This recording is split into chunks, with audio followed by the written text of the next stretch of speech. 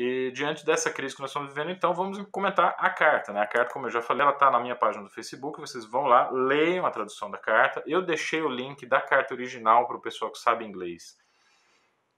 É, se quiser fazer uma cariação da tradução ou sugerir traduções melhores, enfim, fiquem à vontade, tá? Mas dê uma lida na carta, eu não vou ler a carta aqui, eu vou só discutir o contexto de alguns trechos específicos da carta que me chamaram mais a atenção.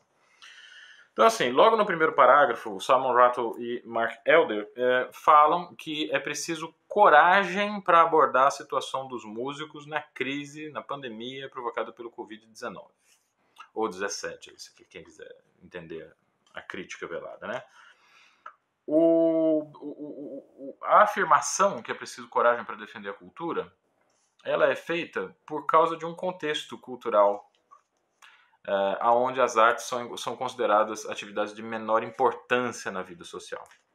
Então esse já é um tapa né, com luva de pelica no que a gente conhece, na sociedade da forma como a gente conhece hoje. Quer dizer, se a arte é considerada uma atividade secundária, então é preciso que a gente tenha coragem para, em meio a tantos problemas, aspas, né, que a carta fala assim, em meio a tantos problemas urgentes que o Reino Unido precisa enfrentar com essa pandemia, nós temos que falar também da situação dos músicos, dos artistas que trabalham com uma arte uh, uh, que tem como seu a, sua essência é a reunião, né?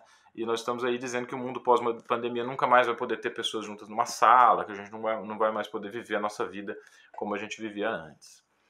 Uh, eles tiveram essa coragem e, ao mesmo tempo, uh, jogaram na cara, assim, vamos dizer, da sociedade este valor. Afinal de contas, as artes são secundárias ou elas são parte daquilo que nos torna humanos? Não pelos objetos artísticos em si, mas pelo processo que uma grande obra de arte é, nos leva a passar.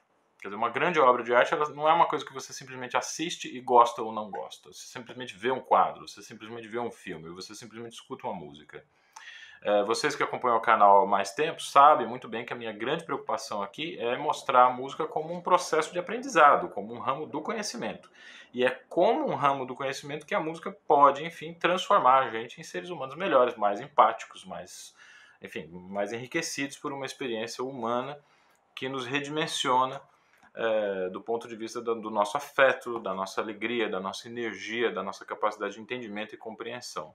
Essa é a importância das artes e essa é a razão pela qual é preciso ter coragem para falar da situação dos artistas em geral, dos músicos em particular, na pandemia.